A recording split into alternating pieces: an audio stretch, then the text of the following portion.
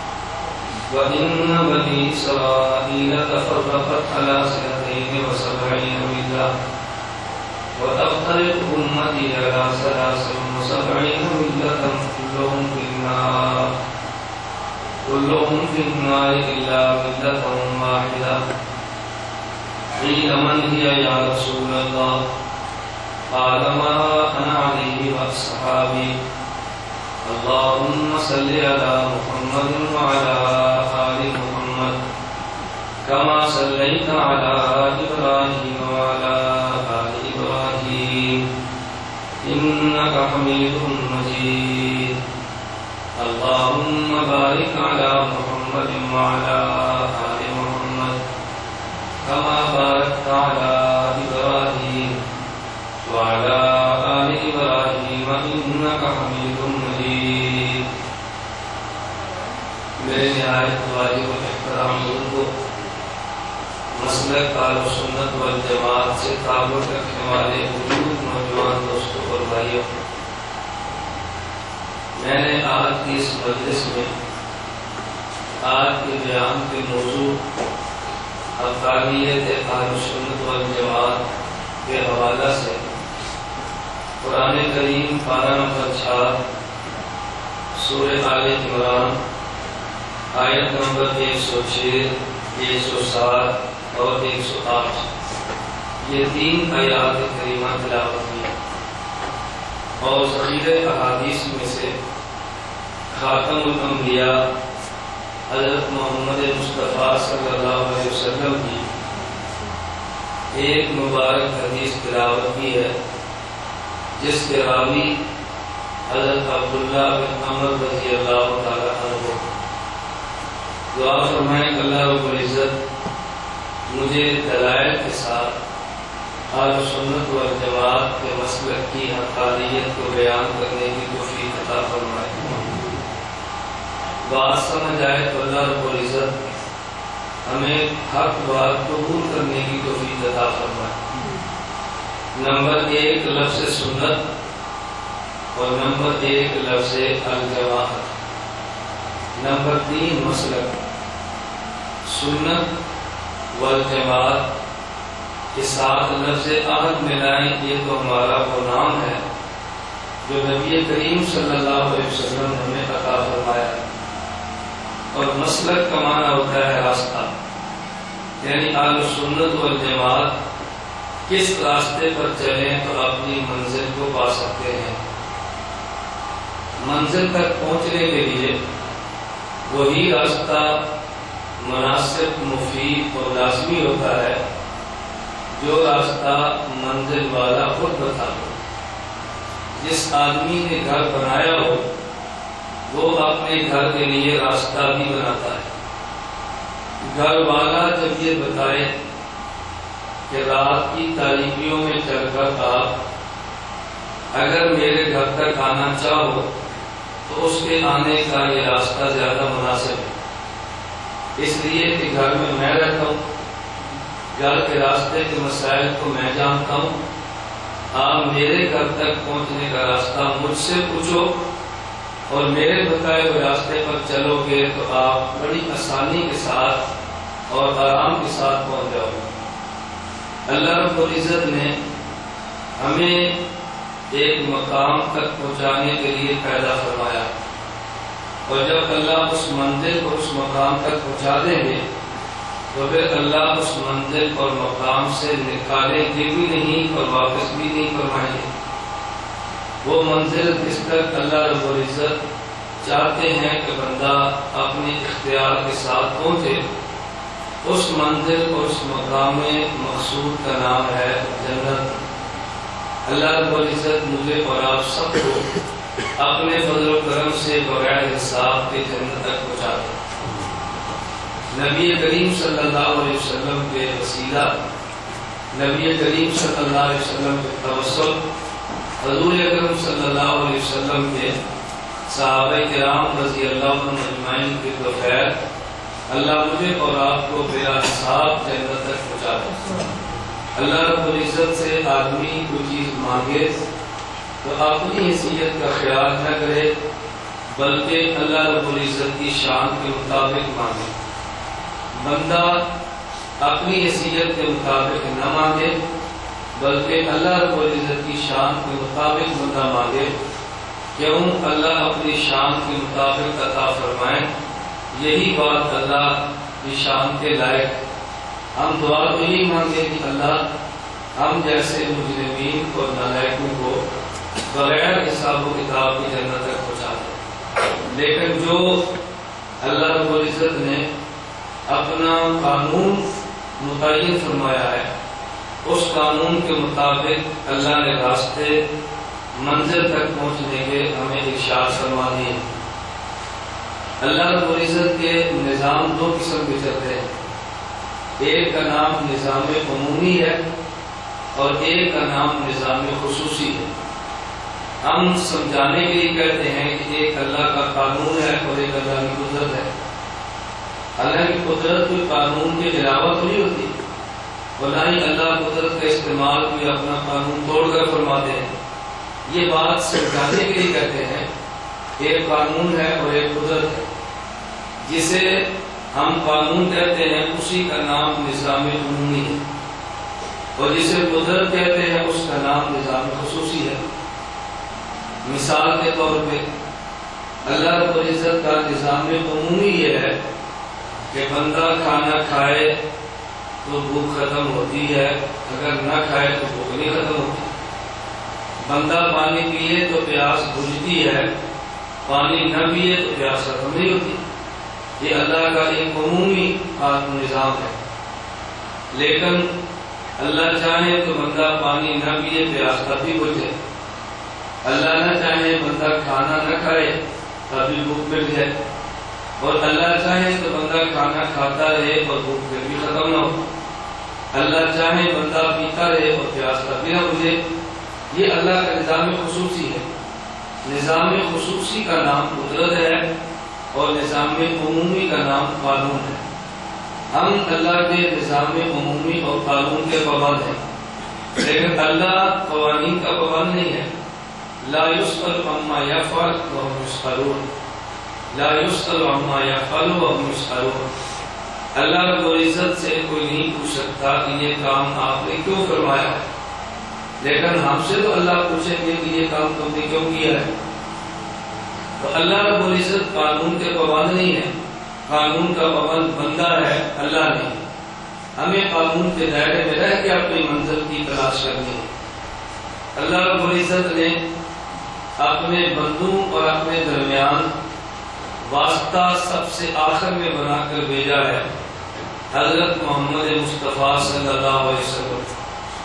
अब जो रास्ता अल्लाह तक पहुँचने का अल्लाह के नुमाइंदे, नबी पाक के शाह फरमाएँगे, असल रास्ता वही होगा।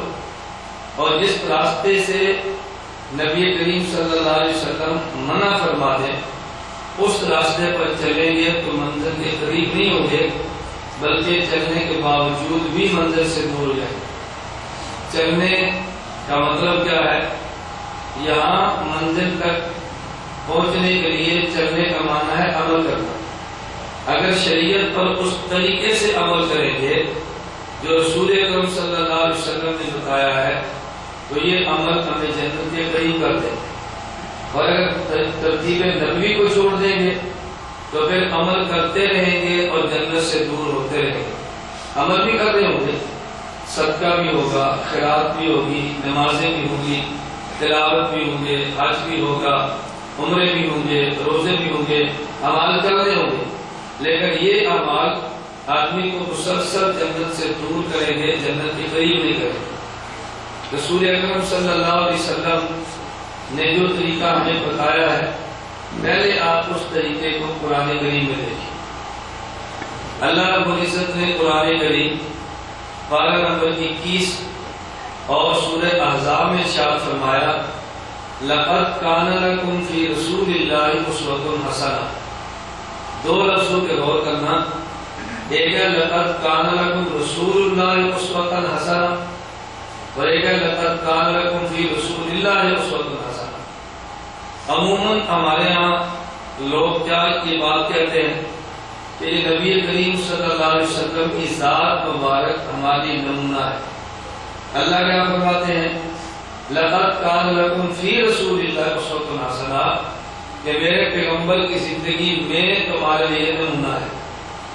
एक है नबी पाक की पूरी ज़िंदगी और एक है नबी पाक की ज़िंदगी में से कुछ। दो बातें अलग अलग है। क्यों? नबी पाक सल्लल्लाहु उम्मत नहीं है, वो नबी है। बात मसाइल ऐसे हैं कि जो नबी पाक अपने लिए करते हैं और बाद मसाइल वो है कि नबी पाक उम्मत के लिए फरमाते हैं। अब अगर हम ये बात कहते हैं कि नबी की जात हमारे लिए पूरी जात नमूना है तो जो जो काम नबी पाक फरमाए, क्या हम वो सारे काम करेंगे? अगर मुकम्मल जात मुबारक को नमूना कह दें तो फिर माना होगा कि जो जो काम नबी पाक ने फरमाए, वो सारे काम हमने करने हैं। हालाँकि बहुत सारे काम ऐसे हैं जो रसूल अकरम फरमाते रहे मगर उम्मत के लिए उन अमाल के करना जायज़ जो रसूल अकरम की खसूसियात है। उनमें बहुत सारे मसाइल हैं।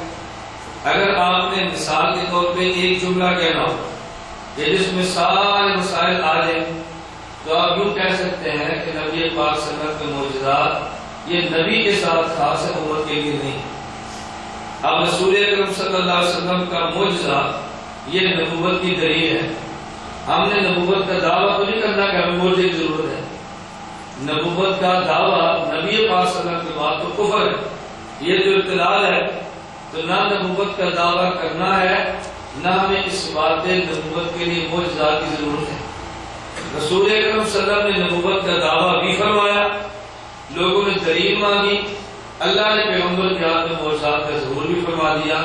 अब बताओ, जो हजूर अकरम की ज़िंदगी की मोजात हैं, ये निज़ाम है या निज़ाम खसूसी है? निज़ाम उमूमी तो नहीं है ना? इशारा करें और चाल दो टुकड़े हो। ये निज़ाम उमूमी नहीं है इशारा करने से चाल टुकड़े हो। रसूल अकरम सल्लल्लाहु अलैहि वसल्लम अपना तीर मुबारक हुदैबिया के कुएँ में डाले और वहाँ से पानी का चश्मा निकल पड़े। ये अल्लाह का खास निज़ाम है, जो नबी के साथ है। अब अगर किसी बंदे को प्यास लगे और वो मैं अपना तीर फेंकूँगा तो वहाँ से पानी निकल पड़ेगा क्योंकि हजूर हमारे नमूना नहीं है। तो नबी पाक ने तीर फेंका तो पानी निकला। मैं फेंकू तो क्यों ना निकले? अल्लाह ने लकत कालकुम रसूलुल्लाह उस वक्त ने फरमाया लकत कालकुम रसूलिल्लाह उस वक्त फरमाया। तो दोनों बातों में फ़र्क है नबी करीम सल्लल्लाहु अलैहि वसल्लम के जो मोजिजात है, ना हमसे मुआवजा माँगता है, ना ही हम मुआवजा दे सकते हैं।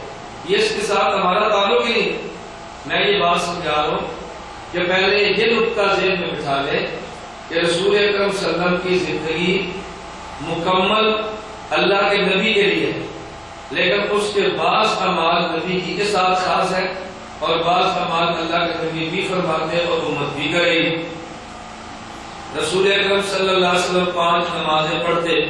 हम कितनी नमाजें पढ़ते? पाँच। नबी पाक सल्लम पर रमज़ान का रोजा फ़र्ज़ था। और हमारे ऊपर भी रमज़ान का रोजा रसूल अकरम शाबान का कभी पूरा महीना, कभी रजब और शाबान दोनों महीने रोजा रखते हैं। तो हमारे दिन में भी है कि सारे रोज़े। कभी रसूल अकरम रोजा रख रहे हैं, एक रोजा, दूसरा, तीसरा, मुसलसल रखे। हदीस मुबारक में आता है कि साहब कराम ने भी शुरू कर दिए रज़ी अल्लाह आप भी रोजा रखे।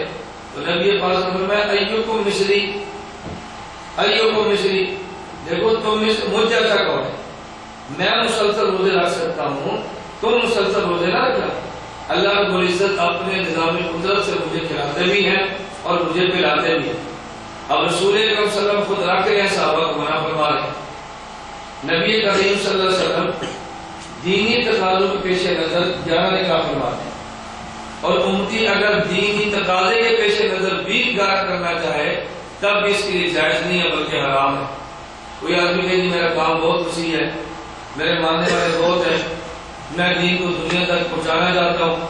लिहाजा मुझे भी नौ या ग्यारह की इजाज़त दे दो, इस इजाज़त के ऊपर एक भी औरत के साथ निकाह करने की गुंजाइश नहीं। और अगर एक से ज़्यादा की है, उम्मती के जिम्मे इनमें मुसावत है, इनके दरमियान बराबरी है और नबी के जिम्मे नहीं है। अल्लाह ने कुरान करीम साफ़ साफ़ फरमा दिया है कि ये पैगंबर के जिम्मे नहीं है, ये उम्मत के जिम्मे क्यों? नबी पाक सल्लम तो शादी फरमा रहे दीनी तकाजों के लिए तो हजूर समझते हैं कि दीनी फ़ायदा किससे ज़्यादा होगा और किससे कम होगा। इसलिए अल्लाह ने पैगंबर को खसूसी गुंजाइश अता फरमाई है कि जो उम्मत के लिए एक से जायद बीवियाँ होने की सूरत में गुंजाइश नहीं। हजूर सलम निकाह फरमाते हैं तो महल के पाबंद नहीं है। लेकिन उम्मती निकाह करेगा तो उम्मती महल का पाबंद है। महल इसके जिम्मे है। तो मैं गुजारिश कर रहा अब देखो, कितने ऐसे मसायल हैं, उनमें नबी के लिए मसला और है उम्मत के लिए मसला। बात समझ आ रही है? नबी पाक के लिए मसला और है, उम्मत के लिए मसला और है। मैं पहले ये नुकता समझे कुरान करीम में क्या फरमाया, लक़द कान लकुम फ़ी रसूलिल्लाहि उस्वतुन ये नहीं फरमाया कान लकुम रसूलुल्लाहि उस्वतुन हसना ये नहीं फरमाया कि मेरा पैगंबर पूरे का पूरा, मेरे पैगंबर का हर अमल तुम्हारे नमूना है, कुछ अमल हमारे लिए नमूना है और कुछ अमल ऐसे हैं कि जिन पर हमारी अमल करना जायज़ नहीं। अच्छा हमें पता कैसे चले कि कौन सा अमल हजूर सल्लल्लाहु अलैहि वसल्लम का हजूर के लिए था और कौन सा अमल नबी पाक सल्लल्लाहु अलैहि वसल्लम का उम्मत के लिए था। हमें कैसे पता चले? इसके लिए अल्लाह रब्बुल इज़्ज़त ने नबी करीम सल्लल्लाहु अलैहि वसल्लम को अपने शगीदों की जमात दी। जिन्होंने नबी की खलवत, नबी की जलवत, नबी का अंदर, नबी का बाहर, नबी का सफ़र नबी का असर।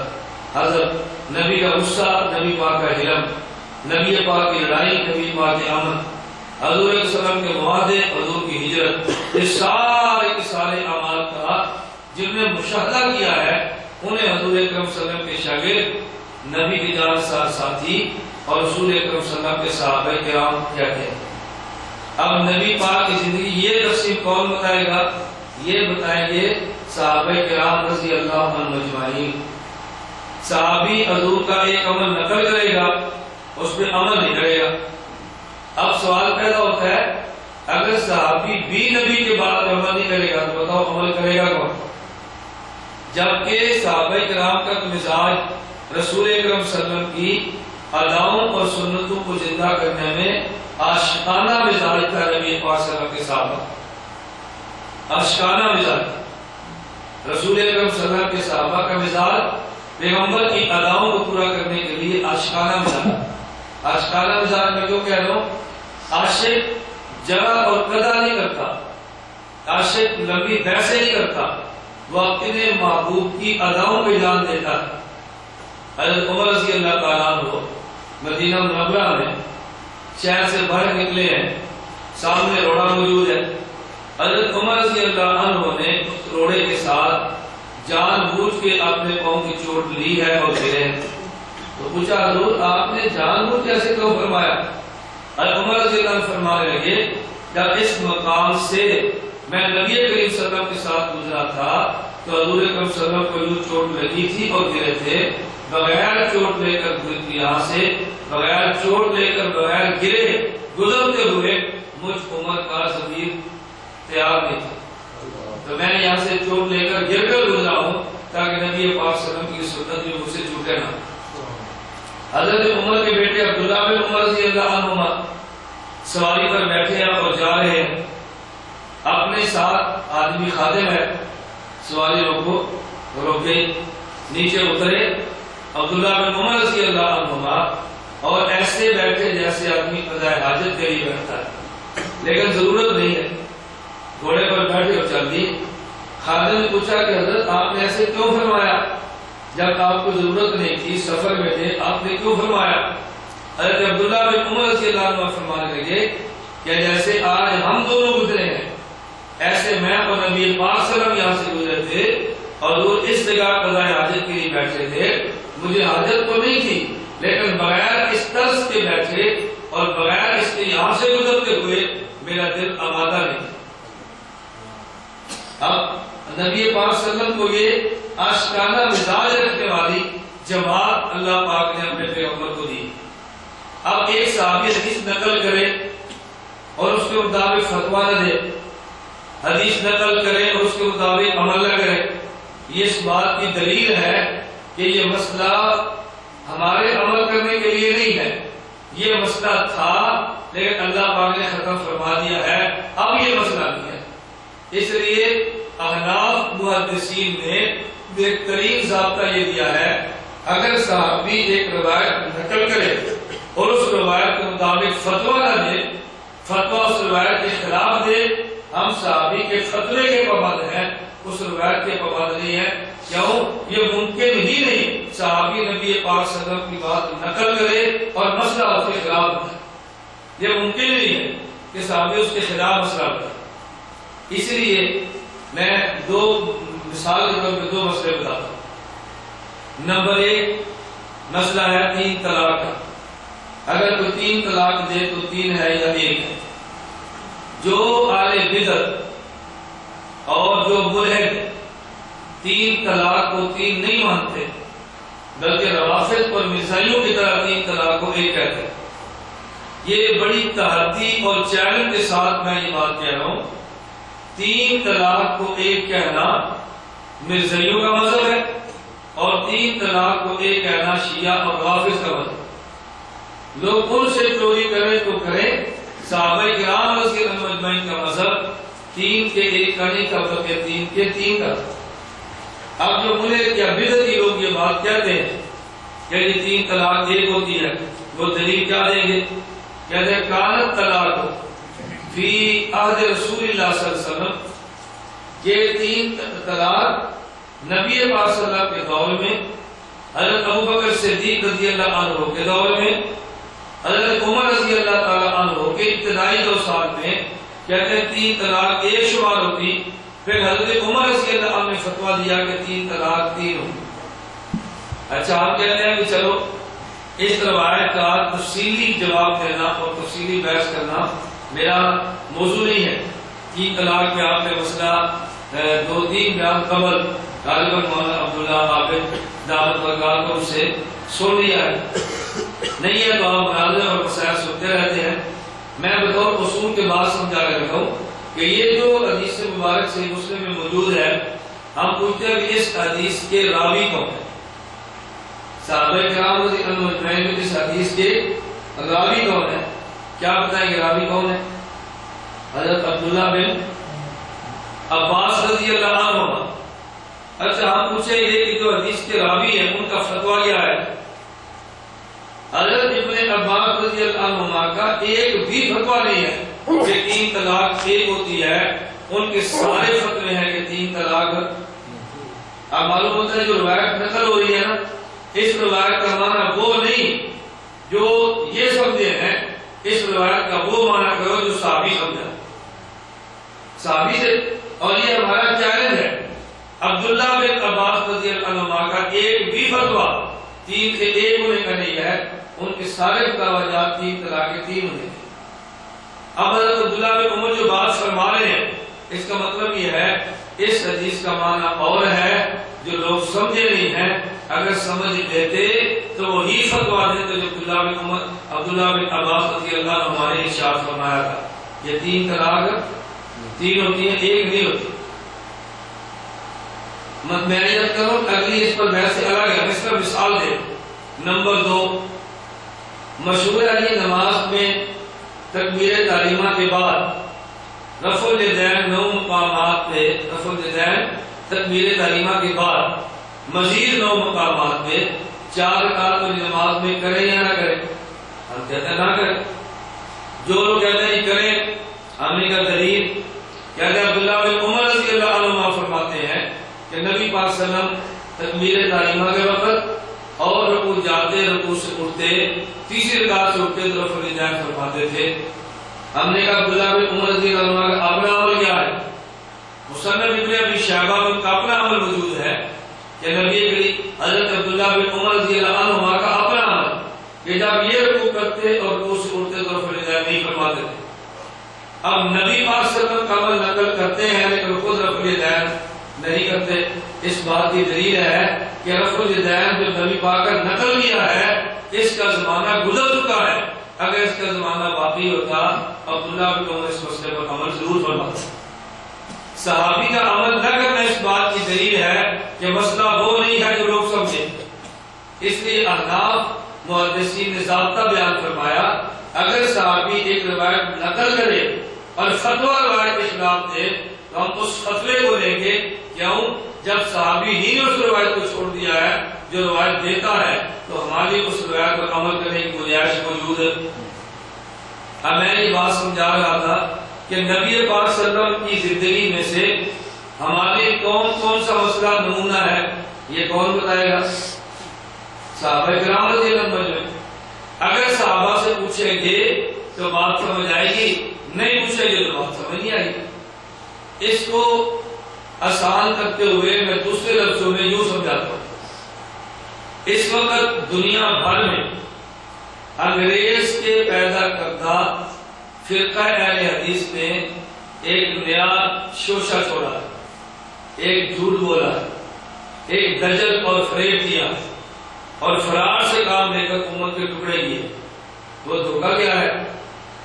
आप किसी फिरका हदीस से ताल्लुक रखने वाले बंदे से पूछो, वो अहनाफ और सुन्नत और जमात से बदगुमान करने के लिए कहेगा कि? हमारे पास अल्लाह के नबी है, सल्लल्लाहु अलैहि वसल्लम। और इनके पास इमाम हनीफा है।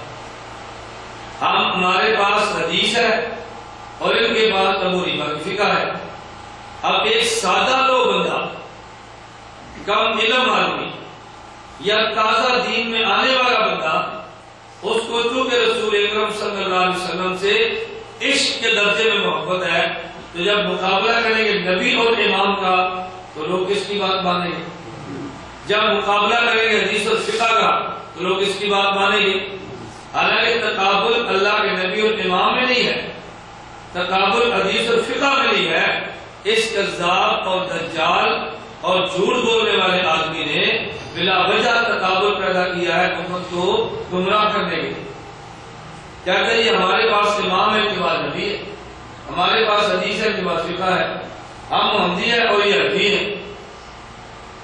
और अगर कोई हमारे बंधु से पूछे, हमारे अकाबे से पूछे, मसलन आल सुन्नत व जमात का नाम रखने वालों से पूछे, हम कहते नहीं यार, तुमने झूठ बोला हम भी अल्लाह के नबी की बात करते हैं और वो भी अल्लाह के नबी की बात करते हैं। सल्लल्लाहु अलैहि वसल्लम। हम भी हदीस की बात करते हैं और वो भी हदीस की बात करते हैं।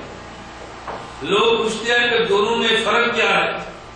दोनों में झगड़ा क्या है? दोनों में इख्तलाफ और लड़ाई क्या है? हम कहते हैं, अब लड़ाई, इख्तलाफ और झगड़े की मंशा सब हमारा मौकफ यह है कुरान करीम हमें नबी करीम सल्लल्लाहु अलैहि वसल्लम ने अल्लाह पाक से लेकर दिया। और हदीस मुबारक हमें ने नबी पाक सल्लल्लाहु अलैहि वसल्लम से लेकर दी। कुरान में अल्लाह और हमारे दरमियान वास्ता कौन है? बताओ भाई कौन है? नबी पाक और हदीस में नबी पाक और हमारे दरमियान वास्ता कौन है? साहब हमें कुरान अल्लाह से लेकर नबी पाक ने दिया है और हदीस साहबा ने हमें लेकर नबी पाक से दिया अब सवाल पैदा होता है कि अल्लाह के नबी जो हमें कुरान देते तो सिर्फ़ कुरान के अल्फाज देते या माना भी देते? बताओ। सिर्फ़ अल्फाज अल्फाज और माना भी देते? माना भी अब कोई बंदा लफज अल्लाह के नबी से दे और गुलाम अहमद परवेज की तरह कहते कि अब आले कुरान है। क्यों? हमने कुरान को ले लिया है लेकिन नबी की तशरी को धोखा है ये? और इसी तरह साहबाई ने नबी पाक से हमें हदीस लेकर दी है तो सिर्फ़ हदीस के अल्फाज दिए या माना भी दिए? माना भी दिए। अब कोई बंदा कहिए हम साहबा से हदीस तो ले लेंगे लेकिन हम माना साहबा से नहीं लेंगे बल्कि चूँकि हम अहले हदीस है, हम हदीस की बात करते हैं, साहबा के माने की बात जैसे परवेशियों ने कहा था, हम आले कुरान हैं, हम कुरान की बात करते हैं, लेकिन नबी की बयान करना तशीफ मानने के लिए तैयार और ये भी कहते हैं हम आले हदीस हैं, नबी पाक की हदीस की बात करते हैं, लेकिन सहाबी के बयान करता तशरी को मानने के लिए तैयार नहीं है। तो एक धोखा आले कुरान ने दिया है और एक दो का आले हदीस ने दिया है आले कुरान की मंशा भी गुमराह करना है और फिर क्या अहले हदीस की मंशा भी उम्मत को गुमराह करना है।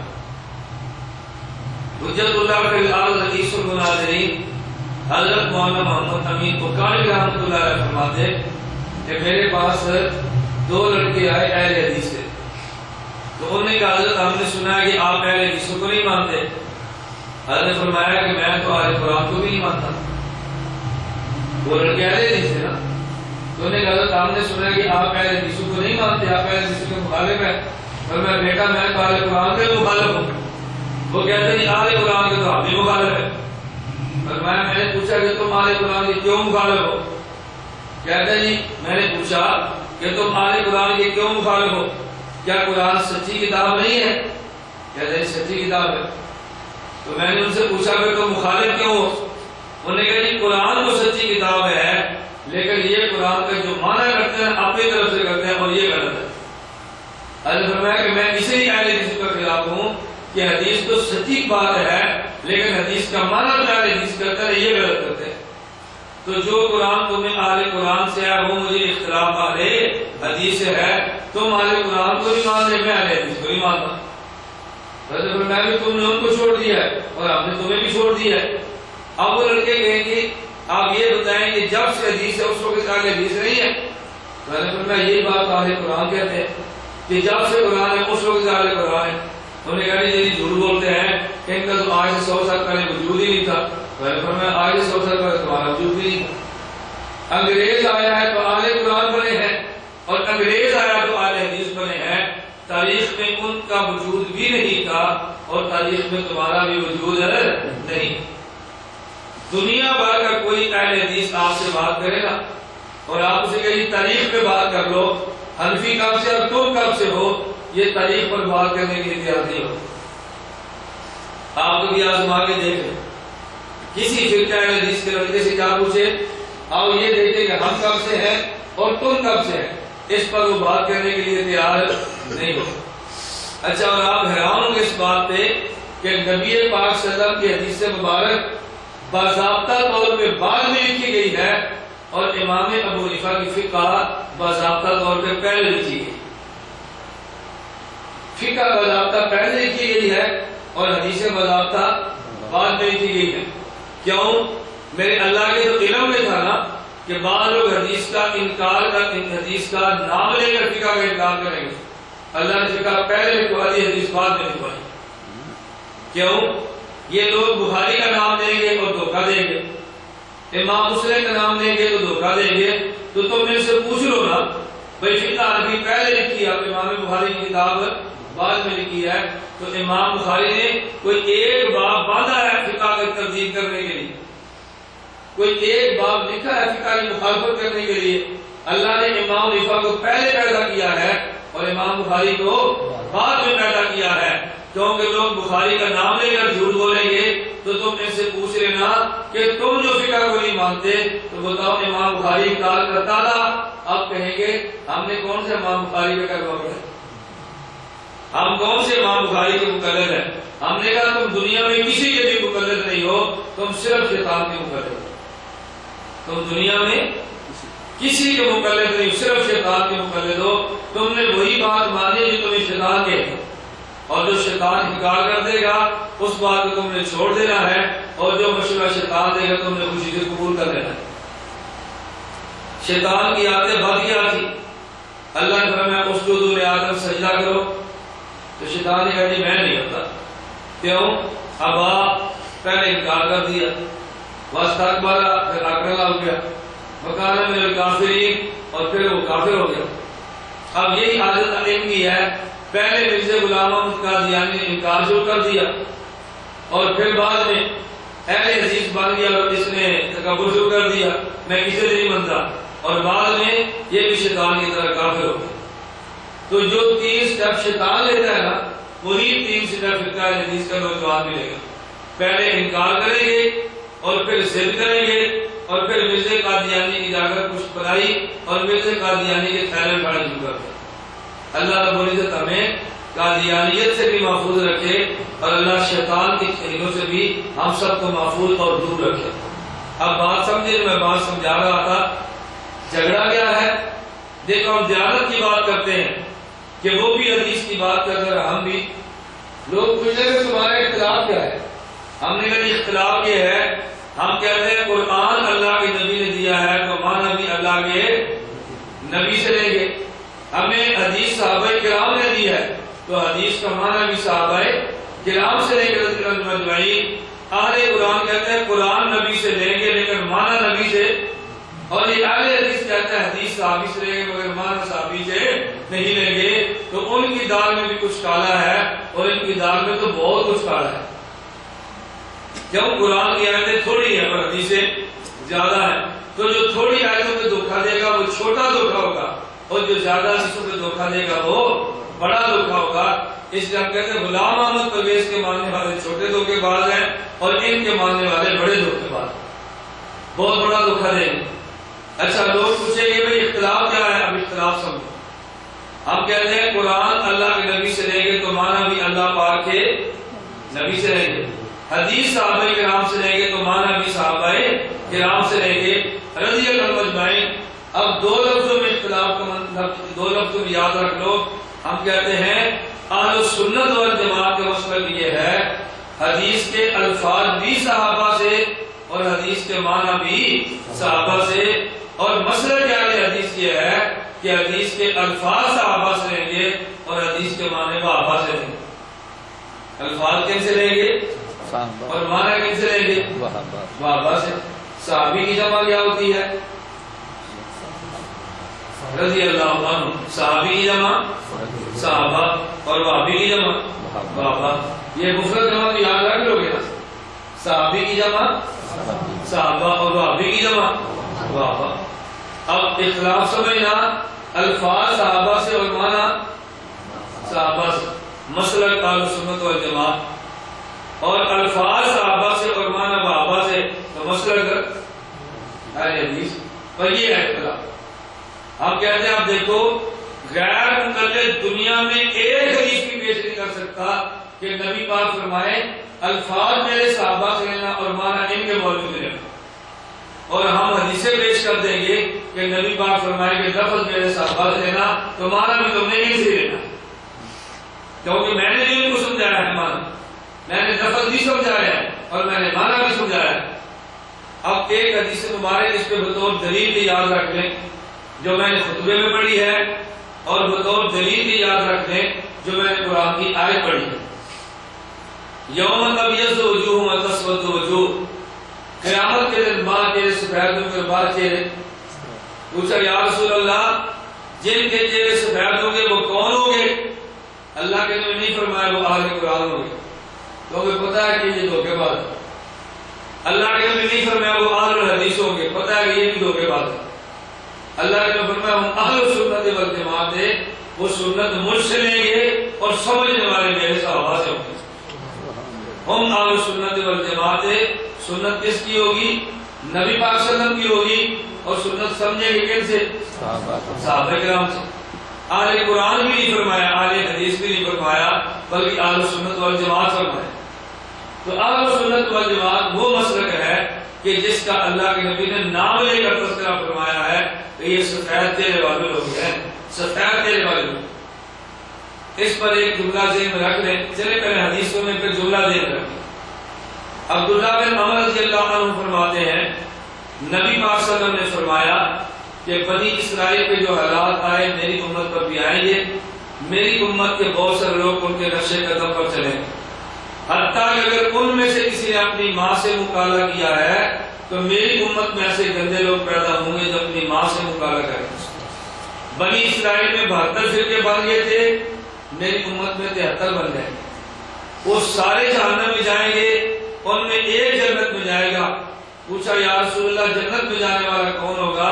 और मैं, माँ अलैहि असहाबी जो दीन मुझसे लेगा और दीन की शरह मेरे साहबा से लेगा दीन की शरह मेरे सुन्नत मेरी लेगा, समझेगा मेरे साहबा से। हदीस मेरी लेगा और समझेगा मेरे साहबा से। वो मेरी हदीस का माना खुद नहीं करेगा, बल्कि मेरी हदीस की मेरे साहबा से तो ये लफ्ज याद रख लोगे माँ अना रही है। याद रखो माँ अना रही है।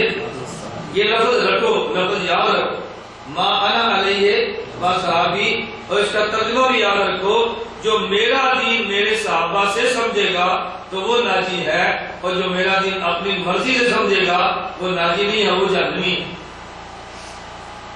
तो अगर सहाबा से लफ्ज लेके माना बहाबा से तो मसल कहले हदीस बनता है, और नफर सहाबा से लेके माना सहाबा से तो मसल का सुन्नत बनता है। अब एक जो बात मैं कह रहा था, वो जरा समझे। अगर कोई अहले हदीस साहब से कहे और ये फलां किताब लिखा है, इमाम तिरमिजी ने फलां में लिखा है, इमाम मुस्लिम ने फलां में लिखा है, शेख अब्दुल कादिर जिलानी ने, असहाबुल हदीस आल सुन्नत वल जमात है। तो वो तो कहते हैं, आल सुन्नत वल जमात, असहाबुल हदीस एक ही चीज़ है, आपने फ़र्क किया आपने कहना भाई उनकी मंशा और थी और तुम्हारी मंशा और है। वो कहते हैं क्या मतलब? आप उससे फ़ौरन सवाल करें अगर तुम्हें पहले हदीस मिल जाए बता तो सच्चा अहले हदीस है या झूठा? क्या सवाल करेंगे? सच्चा या सवाल याद रख लो क्या पूछेगा तो सच्चा है या वो पूछेगा कि अहले हदीस की किस्में होती हैं? तो आप बिल्कुल किस्में होती है? बात सच्चे होते हैं बात झूठे होते हैं। अब पूछेगा भी किस्मों का कौन कौन सी किस्में हैं? आप उन्हें कहना कि जो हदीस का माहिर हो खुद को आले हदीस के वो सच्चा है और जो हदीस का माहिर ना हो, खुद को आले हदीस के तो वो झूठा है। अब तू बता हदीस का माहिर है या नहीं? अगर वो माहिर हो तो फिर सच्चा और माहिर ना हो तो वो हो। गया जी मैं माहिर उन्होंने कहा, दस हदीस एक किस्म की है। बता मुहदसिन के तबकात कितने पूछोगे ना बता अहादीस के अकसाम के हुक्म कितने हैं? मैं मेनू नहीं पता। उन्होंने कहा, तू मान ले तू उठा लेती है तू मान ले तू उठा लेती है तू सच्चा नहीं मैं एक मरतबा वाला यार बयान के लिए गया। तो बयान के अंदर में ये बात की, मुझे बयान के बाद एक आदमी मिला। वो मुझे कहा था मौलाना साहब, ये जो बात आपने की ना हम तो मौलवी लोग नहीं है। मदरसों में नहीं पढ़ते। ये बात जो आपने की, हमें समझ नहीं आई कि ये हदीस का माहिर होता है हदीस सच्चा होता है और माहिर ना तो झूठा होता है। मुझे जरा आसान सी बात समझाई मैंने उससे पूछा, तेरी कौम क्या है? मुझे है जी भट्टी मैंने कहा तो तूने शादी जिस औरत से की है? वो कौन है? है जी भट्टन मैंने कहा, यार, तुम दोनों से शादी करते हो? कहता नहीं? मैंने कहा, तेरी बीवी तो धोबन है। धोबन समझते हैं धोबन मोहनस है धोबी की। जैसे गैर मुकलद मोहनस होती है, गैर मुकलद की। आदमी हो तो गैर मुकलद और जनानी हो तो गैर मुकलदल कहते हैं ना गैर मुकलदल कहते हैं। इनको शौक बड़ा होता है। मैं शादी एक वाक्य सुनाता हूँ। यहाँ शिवपुर में एक छोटा सा बच्चा था तो उनके घर उनकी मामी ने निकाह कर दिया औंधिया मसले लत्ता चोड़िया करके नमाज़ क्यों नहीं पढ़ते? मैं तो पूछो भी, लत्ता चोड़िया करना मर्दा ने काम है तीनों की लगे लत्ता चोड़िया करना। जनानिया ने क्या कर आता लत्ता चोड़िया नहीं कर मैंने कहा कि उससे पूछो ना, अब वो कह रही है, तुम तो कागी चोरी क्यों नहीं करते? ये क्यों नहीं करते, ये क्यों नहीं करते? वो छोटा सा लड़का था, सात साल का होगा। मेरे बयाना सीढ़ी देखता रहता सुनता रहता उसने कहा मामी बड़े मसलों पे छोड़, पहले बुनियादी बात कर। उसने कहा, बुनियादी बात कौन सी है? उसने कहा, ये बता मामी जान तकलीफ़ ईमान है ये शिरक। है उन्होंने कहा, शिरक है? उन्होंने कहा मामी सोच रहा है। उन्होंने कहा शिरक है? उन्होंने कहा मामी सोच रहा है। उन्होंने कहा, शिरक है। उन्होंने कहा अच्छा ये बता, तकलीफ़ जब शिरक है एक खामिद में से मोमिन दूसरा मुशरक हो इनका निकाह हो जाता है। अब मामी सोचनी पड़ी तो मामा जो कर लेता।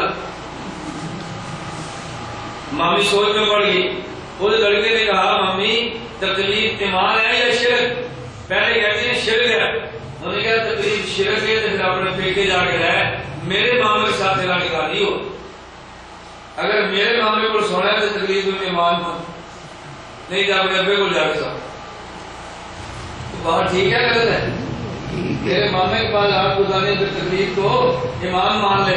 उन्होंने कहा, ये मौलवी साहब वो देखो ये साड़ी मामी कागज़ की बहस गैर मुकलना तो छठी वो भी बढ़ जाती है ना। लेकिन आदमी उनसे बात तो करे। मैंने से पूछा कि तेरी बीवी दोगण है? तो क्या भर्ती दोगणों से शादी करते हैं? कहते नहीं भटन है। मैंने कहा, नहीं दोगण है। ज़्यादा बिल्कुल भट्टी है। कहते आपको कैसे पता? मैंने कहा, तेरी बीवी कपड़े नहीं होती में कहते धोती है मैंने कहा दोगुण हुई ना। जब तेरे कपड़े धोती है तो दोगुण हुई ना। मुझे कहता है कि नहीं, कपड़े धोती है मगर है भटनी मैंने कहा, क्यों? धोबी भी तो कपड़े धोता है। कहता है कि धोबी उसे कहते हैं, जिसका कपड़े धोना पेशा हो। मेरी बीवी का पेशा नहीं है कपड़े धोना। मैंने कहा, बिल्कुल, यही बात है। अगर पेशा हो तो धोबी बनता है। और अगर पेशा ना हो दो चार सूट रोज़ाना धोवे तो धोबी नहीं बनता हदीसों का मारे और वाले हदीस होता है और एक रफा जान की हदीस याद करने गुमराह करने के लिए तो ये सच्चा नहीं है झूठा है मैंने कहा समझ आ गई कहते जी होना मैंने इसलिए कहा इनसे पूछे भाई तो सच्चा है हदीस है या झूठा? पूछ लोगे ना। और एक ही जवाब देना कोई झूठा? और भाई तू पहले सच्चा मान फिर सामना कर और सच्चा तो सच्चा तो है ही। मैं साथियों समझाता हूँ वो भी आगे से कह देगा लेकिन अहले हदीस कहते हैं जो हदीस का माहिर हो तो आलो सुन्नत कहते हैं जो सुन्नत का माहिर हो। फिर तुम भी सुन्नत का माहिर तो नहीं हो ना? आप उसे कहना भी देखो, अहले तरीक उसे कहते हैं जो तरीक का माहिर हो। अहले तफसीर कहते हैं जो तफसीर का। आले हदीस कहते हैं जो हदीस का। और आले सुन्नत कहेंगे जो सुन्नत का माहिर हो, आप कहना भी क्यास तो यही कहता है आले सुन्नत, वो जो सुन्नत का माहिर है। लेकिन हमें हमारे इमाम ने बताया है, अगर क्यास हदीस के खिलाफ आ जाए तो क्यास को छोड़ देना, हदीस को ले लेना। क्यास तो यही कहता है, लेकिन हमारे इमाम ने बताया अगर क्यास हदीस में टक्कर पड़ जाए तो क्यास को छोड़ देना, हदीस को ले लेना। हमारे पास हदीस मौजूद है कि अनपढ़ बंदा भी आलो सुन्नत होता है और सच्चा आलो सुन्नत होता है। इसलिए हमने क्यास को छोड़ दिया। तो पूछेगा, कौन सी हदीस? कहना, कुरान कहता है बाद लोगों के चेहरे सफ़ेद होंगे तो पूछा जब के चेहरे सफ़ेद है वो कौन होंगे? तो नबी पाक हम आलो सुन्नत वल जमाते तो आलो सुन्नत वल जमात होंगे अब बता क्यामत के दिन चेहरे सिर्फ़ मौलवियों के सफ़ेद होंगे या अनपढ़ों के भी होंगे? भाई, क्यामत के दिन सिर्फ़ मौलवियों के चेहरे सफ़ेद होंगे अनपढ़ लोगों के भी होंगे ना? तो देखो, अल्लाह के नबी ने बता दिया, आलो सुन्नत वल जमात तो अनपढ़ भी होंगे, चेहरे के सफ़ेद तो क्यास तो वही कहता है जो तू कह रहा है। लेकिन हमने क्यास को छोड़ दिया। हमारे इमाम ने सबक पढ़ाया है। अगर हदीस क्यास के खिलाफ आई क्यास को छोड़ना, हदीस को ले लेना। बड़ी आसान सी बात है। और मैं गैर बंदूज कहता हूँ अलफिकत जदीदा। तुम्हारे मौलवी डॉक्टर दमानी ने किताब लिखी है, और इसके शुरू मुकदमा जुबैर निजे कसाब ने लिखा और एक जुरैल एक कजाब और झूठे आदमी है, मुकदमा है कजाब, लेकिन कभी झूठा आदमी बात सच्ची क्या ही देता है? कि ये इस जुरैल इसे कजाब इस मुकदमे में लिखा, कहता है, तारीख के मायल काले तारीख कहते हैं। हदीस के मायल काले हदीस कहते हैं। तफसीर के मायल काले तफसीर कहते हैं और सुन्नत पर अमल करने वाले को आलू सुन्नत कहते हैं। मैं विजय गल असि आपके साथ, और तेरे घर से जा सकते इसलिए आलू सुन्नत तो सच्चे और झूठे भी होते हैं, लेकिन आले हदीस की दो किस्में सच्चे और झूठे। पूछ लोगे ना आपको अब मैं आपकी खिदमत में अर्ज़ कर रहा था कि मसल क्या हदीस का क्या है? हदीस अल्लाह के पैगंबर के सहाबा से और माना वहाबा से। और मसल क्या सुन्नत वल जमात क्या है? कि अल्फाज भी सहाबा से और माना भी